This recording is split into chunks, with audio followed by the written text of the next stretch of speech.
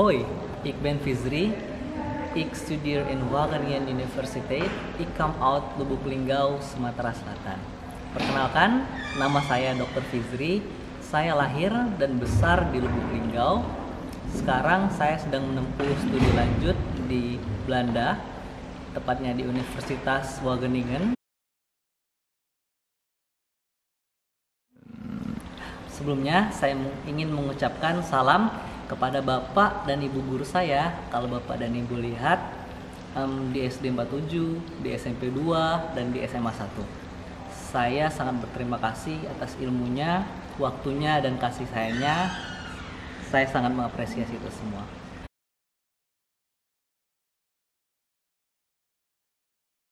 Yang paling penting buat adik-adik di sini, halo semuanya, selamat pagi um, buat adik-adik siswa siswi SMA di Lubuk Linggau harapan bangsa harapan daerah.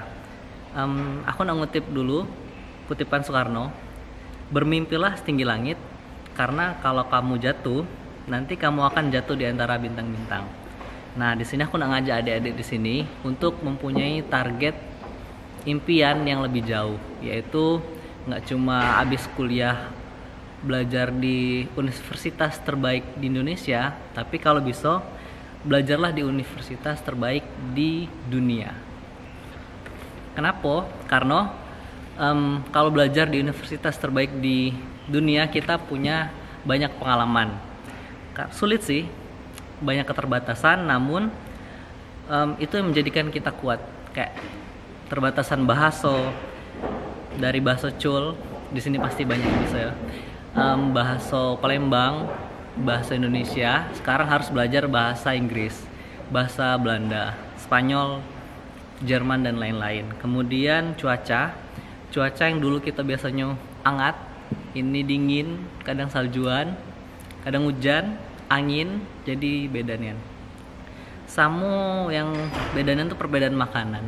Makanan di Indonesia tuh enak-enak nian. Di sini makanannya yeah, hambar namun itulah yang akan menjadikan kita kuat karena kita beradaptasi dan kita akan menjadi individu yang kaya. Nah, bagaimana caranya? Hmm, beberapa tips yaitu pertama kita harus percaya diri.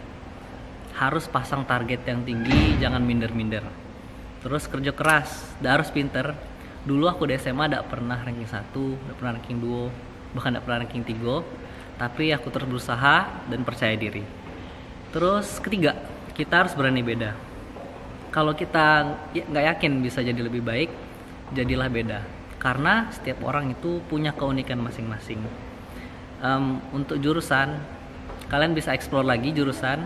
Saya dulu jurusan kedokteran hewan, tidak populer, namun um, ternyata sangat menguntungkan dan banyak dicari orang. Makanya jadilah berbeda. Ketiga, keempat, bahasa.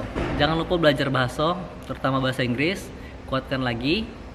Terus bahasa internasional. Kalau yang suka anime bisa belajar bahasa Jepang. Yang suka drama Korea, belajarlah bahasa Korea. Yang terakhir itu jangan lupa doa dan beribadah karena pada akhirnya Tuhan itu yang menentukan. Um, itu B, lima tipsnya. Jangan lupa milikilah target setinggi-tingginya karena kalau kan pun kalian jatuh nanti kalian akan jatuh di antara bintang-bintang. Sukses untuk UN dan ujian masuk perguruan tinggi. Kalau ada yang mau ditanyakan silahkan hubungi ke panitia atau hubungi langsung ke saya nanti kontaknya saya kasih ke panitia. Terima kasih. Wassalamualaikum warahmatullahi wabarakatuh. Dadah